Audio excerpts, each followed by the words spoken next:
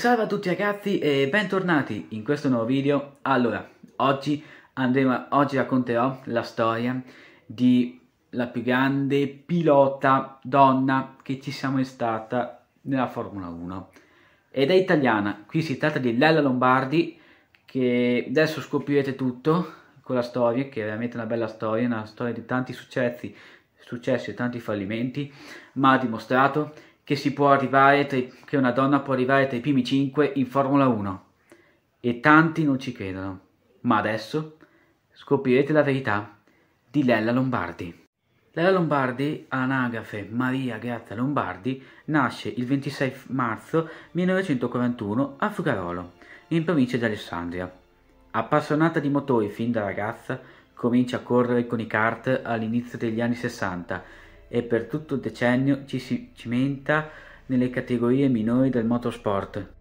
Lella inizia a farsi notare nell'ambiente quando si aggiudica nel 1970 il campionato italiano di Formula 850.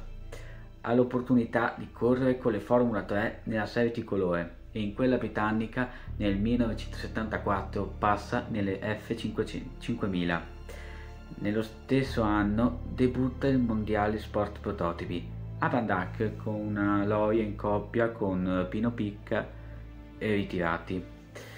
E soprattutto in Formula 1 nel Gran Premio di Gran Bretagna con una, con una brava non qualificata purtroppo si è qualificata. Lea Lombardi trova un salire per la marcia per il Mondiale di Formula 1 1975 e all'esordio con la nuova scuderia riesce a qualificarsi per il Gran Premio del Sudafrica, diventando la seconda donna della storia della Formula 1, 18 anni dopo Maria Teresa De Phillips, che è stata una pilota della Formula 1 degli anni 60, a prendere il via di una gara iridata proprio. Nel secondo appuntamento in Spagna in una corsa sospesa in seguito alla morte di diversi spettatori a causa di un alettone perso dalla, da, dalla hill del tedesco Rolf Stommelen e volato in mezzo alla folla, Pitico era sopravvissuto, la Lombardi si piazza in, in sesta posizione e diventa la prima, per il momento unica, pilota capace di conquistare punti in Formula 1. Incredibile. Nel 1966 la Lombardi debutta con un sedicesimo posto in Brasile, in un gran premio nel quale Brambilla si ritira, e a metà campionato passa la Brabham al team Ram, non si qualifica in Gran Bretagna, a differenza del compagno inglese Bob Evans, in Germania, con Stommel sesto, mentre in Austria arriva dodicesima facendo meglio del conquipier eh, svizzero Loris Kessel, per quanto riguarda l'endurance segnaliamo invece il ventesimo posto Aleman, secondo nella classe G GTP, con una Lancia Stratos in coppia con la transalpina Christine Dacremont.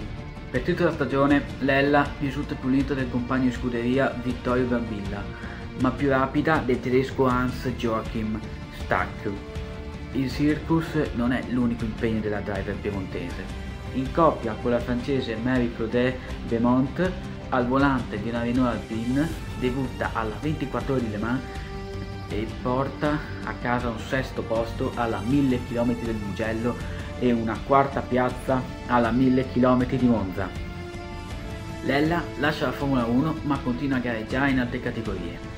Nel 1967 arriva terza alla 250 km di Imola con Osella in coppia con Giovanna Anzeroni. Gareggia a Daytona in una tappa della NASCAR con la Chevrolet, Nemo mia mal, andando a punti con un 31 posto, mentre l'anno seguente, sempre con, con l'Ausella, conquista la, 6 ore di Pergusa, che è una corsa che si fa... Allora, chi non lo sa, Pergusa sta in Sicilia, insieme a Enrico Grimaldi.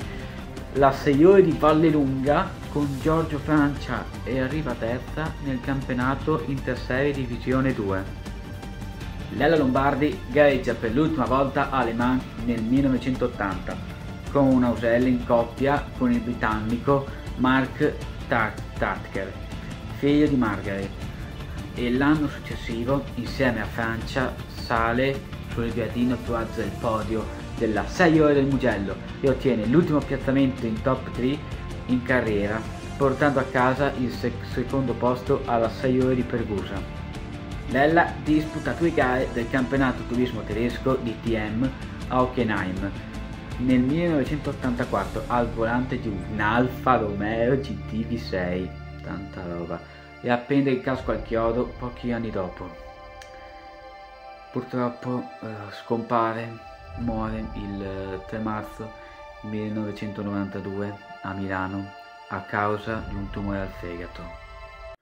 Eh, purtroppo lei ci ha lasciati, vabbè, fa niente, ormai sai in un posto migliore sarà Dio in paradiso, quindi niente cose tragiche. Ok, spero tanto questa, che questa storia vi sia piaciuta. Io questa storia l'ho fatta perché oggi è la festa delle donne e io a tutte le ragazze, tutte le donne, tutte le anziane vi faccio i miei tanti auguri. Ok, spero tanto questo video vi sia piaciuto e salve a tutti ragazzi, ciao! Auguri di nuovo per le donne.